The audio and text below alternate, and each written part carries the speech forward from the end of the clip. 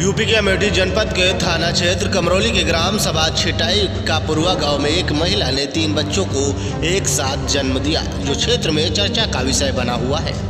अमेठी ज़िले के कमरौली थाना क्षेत्र के छिटाई का पुरुआ में शादी के बाद एक महिला ने पहली बार में ही तीन बच्चों को जन्म दिया और तीनों बच्चे और माँ पूर्ण रूप से स्वस्थ हैं।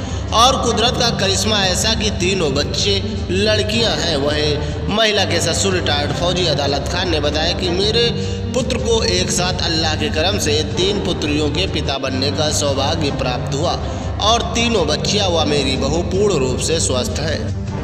सर आपका नाम क्या है? अदालत खान। कहाँ के निवासी हैं? अमेठी के सर। अच्छा आप सेना में भी हैं? सर। तो अभी पोस्टिंग है या रिटायर हो गया सर।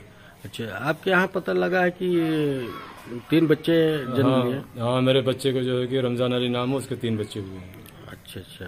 तो ये कहाँ पे हॉस्पिटल में? नयाब के यहाँ से। नयाब खान के।